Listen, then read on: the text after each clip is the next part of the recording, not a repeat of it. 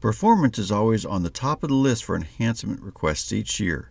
This year there was a major focus on helping us with drawing performance with the addition of detailing mode. If we go in to open a drawing, we've got the option to come into detail mode. So by using detail mode, we can open very large and very complex drawings in seconds when this first pops up, we've got a list of different things that we can do. We'll go over each one of those as we go through this video. So we aren't loading the models into memory, but we do have access to the drawing views. We can come in and use detailing mode for design reviews. Maybe we just want to open up the drawings very quickly, or if we have minor edits or detailing that we want to do to the drawings.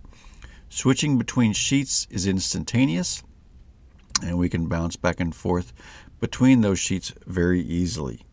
Drawing views can be arranged and moved around.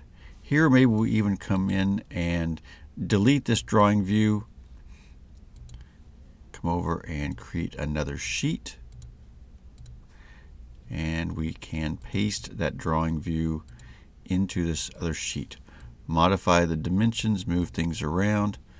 We can even go in and rename this sheet. Maybe elevation number two. Reorder the sheets and pull it down here. So now that we've got a little bit more room on this view, we can come in and arrange things a little bit differently.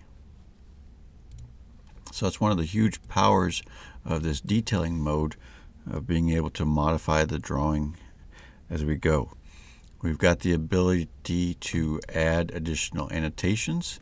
So really anything on the annotations tab that's not grayed out, we can come in and add regular balloons, even snap them to the uh, magnet line.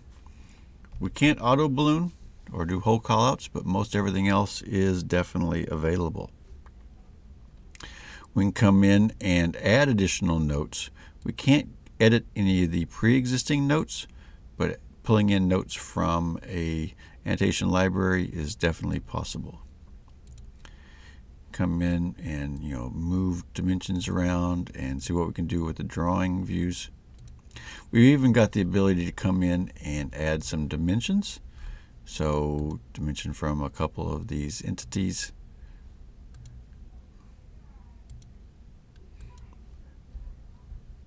Control how we want them to look.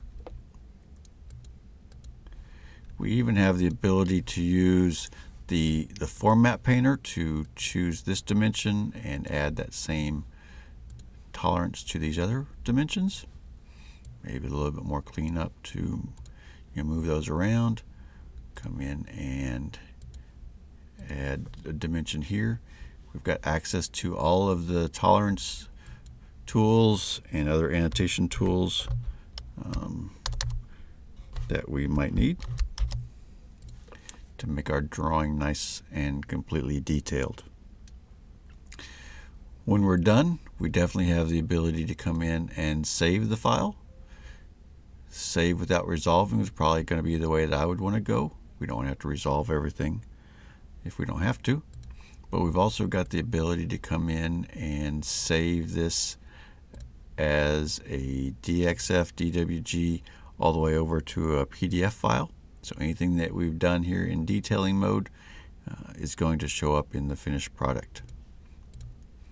So coming in and using these tools in detailing mode is going to make it much easier to detail massive drawings without the burden of having to load the models into memory or even having them present.